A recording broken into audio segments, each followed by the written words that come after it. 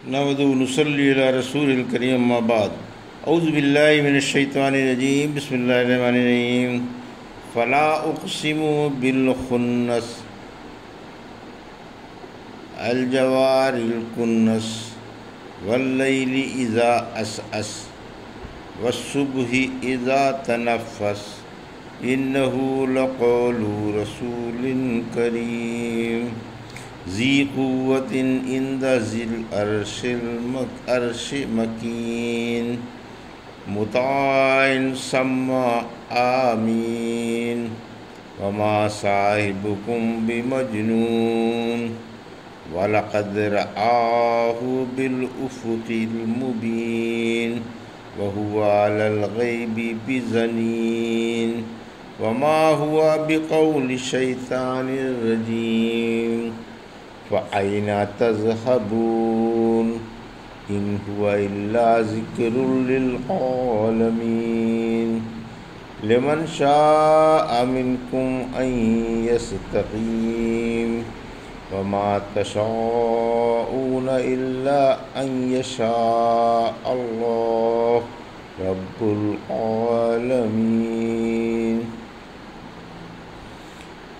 अभी आपने सूर तकवीर की आयत पंद्रह से उनतीस की तिलावत समात फरमाई।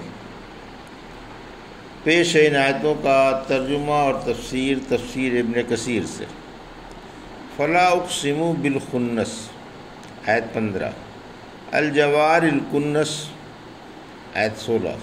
वल्लैली इज़ा अस अस, आयत सत्रह।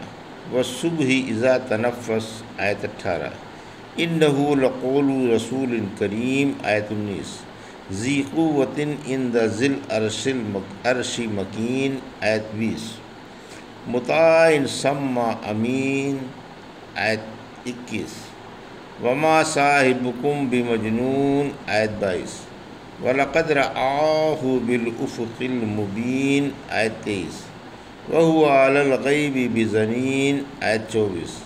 गैबी बिज़नीन आयत चौबीस वमा हुआ बिकौल शैतान रजीम आयत पच्चीस फ़ाइन तजहबून आयत छब्बीस इन हुआ ज़िक्रमीन आयत सत्ताईस लिमन शाह अमिनकुम यस तकीम आयत अट्ठाईस वमा तशाऊन यशा अल्लाह रब्बुल आलमीन आयत उनतीस तर्जुमा पीछे हटने वाले तारों की कसम जो चलते रहते हैं, फिर छिप जाते हैं और रात की कसम जब वो जाने लगे और सुबह की कसम जब वो आने लगे।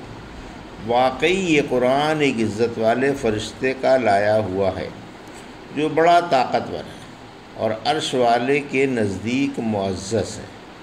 उसका वहाँ कहा माना जाता है और अमीन है। और तुम्हारा साथी सरफिरा नहीं है। आपने उसे आसमान के खुले किनारे पर देखा है। आप गैब के बताने में बकील नहीं हैं और ये कुरान शैतान मरदूद का कलाम नहीं है।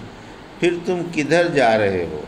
ये तो दुनिया के लिए नसीहत नामा है खसूस उसके लिए जो तुम में से सीधी राह पर चलना चाहे। और तुम बिला परवरदिगार के चाहे कुछ नहीं चाह सकते। ये था तर्जुमा सूर तकवीर की आयत पंद्रह से उनतीस का तफसीर। आयत पंद्रह सोलह। उमरू बिन हरीस रज़ी अल्लाह ने सुना कि रहमत आलम सरसम सुबह की नमाज़ में ये सूर्य पढ़ रहे हैं, उस वक्त आप ही मुख्तदी थे। खुन्नस व कुन्नस की तफसीर तारों की कसम खाई गई है जो दिन में डूब जाते हैं और रात को निकल आते हैं। तारों को तुलू के वक्त खुन्नस और गुरूब के वक्त कुन्नस कहते हैं। फिर ये तुलू व गरूब के दरमियान अपने अपने फलक में गर्दिश करते रहते हैं। अस अस, आने जाने दोनों मानी में मुस्तमिल है। यानी जब रात पीठ मोड़ कर चल दे और एक दिन चल दे, एक दिन अली रजलता सुबह की नमाज़ के लिए निकले और बोले कि, वितर के बारे में पूछने वाले कहाँ हैं? फिर ये आयत पढ़ी। यानी जब शहर की रोशनी फैल जाए, कुरान जब्राईसलाम का लाया हुआ है, आयत कस्मों का जवाब है, यानी ये कुरान एक बुज़ुर्ग व शरीफ और खूबसूरत फरिश्ते का लाया हुआ है। यानी जब्राइल का जो बड़े ताकतवर हैं। सूर नज्म की आयत पाँच और छः में फरमाया, उन्हें ये कुरान एक फ़रिश्ते ने सिखाया है जो ताकतवर है। आयत बीस। ये पैदाइशी ताकतवर है और मालिक अर्श के नज़दीक बुलंद मकाम व इज़्ज़तदार है। आपको नूर के सत्तर पर्दों तक जाने की इजाज़त है।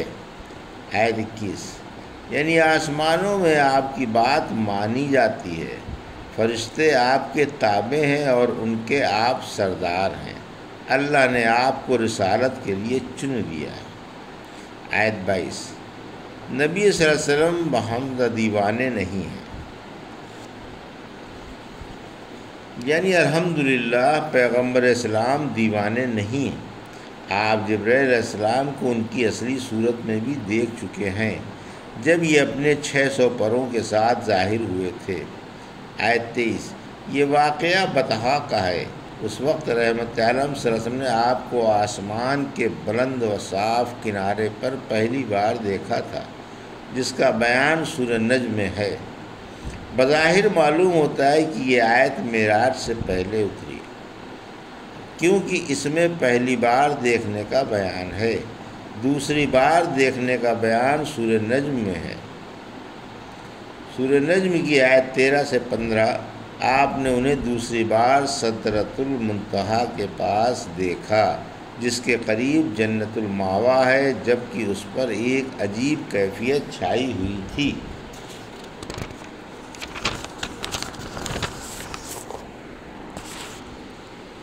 ये सूरत मेराज के बाद उतरी।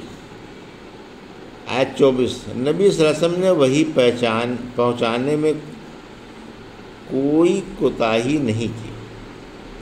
यानी आपको अल्लाह की तरफ़ से गैब की जो बातें बताई जाती हैं, आप उन्हें बिला कमोकाश लोगों को बता देते हैं। ज़नीन की सूरत में ये मानी है कि आप पर कोई इल्ज़ाम नहीं। यानी आपने रसालत पहुँचाने में ज़रा सी भी कोताही नहीं की।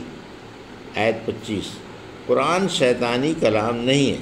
यानी कुरान शैतान का कलाम नहीं हो सकता, ना शैतान इस पर काबू पा सकता है, ना ये उसके मतलब की चीज़ है। और ना ये उसके लायक है। सूर्य शरा की आयत 210 से 212 में फरमाया, ना ही इसे शैतान लेकर उतरे और ना ये उनके लायक है और ना वो इस पर कादिर हैं। शैतान तो वही सुनने से भी रोक दिए गए हैं।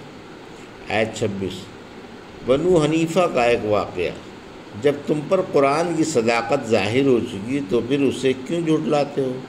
क्यों अकलें मारी गई हैं? जब बनु हनीफ़ा के कुछ आदमी सिद्दीक रज़ी तु के पास मुसलमान होकर हाजिर हुए तो आपने हुक्म दिया कि मुस्लिमा का जो मुद्दई नबूत था और तुम उसे आज तक नबी मानते रहे, गढ़ा हुआ कलाम तो सुनाओ।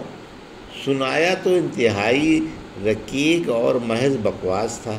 फरमाया, तुम्हारी अकलें कहाँ थीं? तुमने ज़रा भी नहीं सोचा कि उस बकवास को अल्लाह के कलाम से क्या नस्बत? नामुमकिन है कि ऐसा बेतुका कलाम अल्लाह का हो।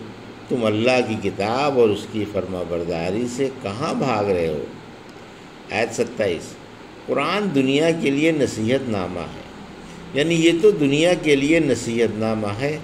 यही निजात व हिदायत का ज़रिया है। इसी पर अमल करके आखरत बनाओ।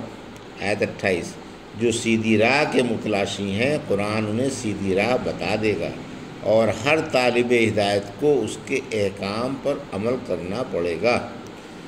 ये सुनकर अबू जहल बोला, फिर तो हिदायत व जलालत हमारे अख्तियार में है, इसका जवाब अगली आयत में है। आयत उनतीस।